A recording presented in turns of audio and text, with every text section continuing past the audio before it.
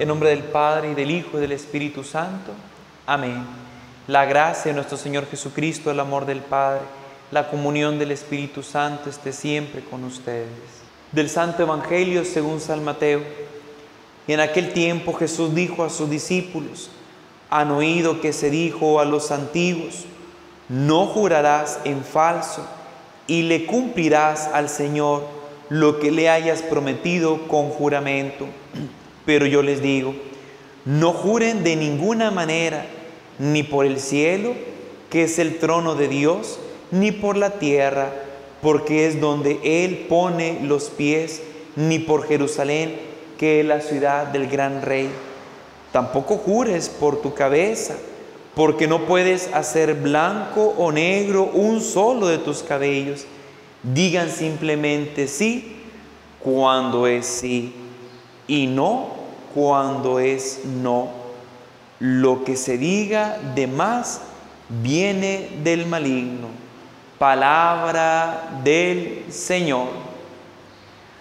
A veces, queridos hijos, queridos hermanos, cuando hemos perdido la constancia en la veracidad, cuando hemos perdido el, el ser personas de respeto, entran estos criterios. La otra persona no va a creerte y tú le vas a decir, te lo juro, por Dios, por el cielo, por la tierra, por mi padre, por mi madre. Cuando se ha perdido totalmente la honestidad en la persona, el respeto. Digamos sí, como escuchamos en el Evangelio, digamos sí cuando es sí. Y no tengamos miedo cuando tengamos que decir que no. Sé que nos va a costar mucho trabajo, va a haber una revolución interior, pero tenemos que actuar como Dios nos lo pide. Tenemos que seguir los criterios que Dios nos pide y que Dios nos marca, no para quedar bien con el otro, no para quedar bien con el mundo, sino porque a Dios no le podemos esconder nada.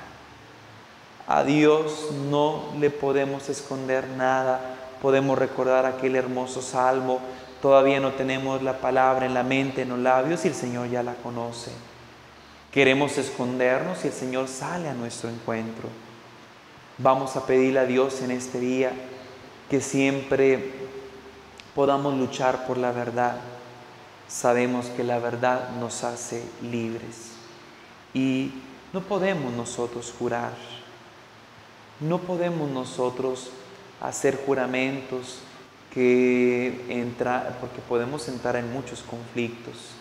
Mejor que la gente vea nuestra rectitud, que la gente vea nuestra honestidad, que la gente vea nuestra veracidad. Que el Señor esté con ustedes. La bendición de Dios, Padre, Hijo y Espíritu Santo, descienda y los acompañe siempre. Amén.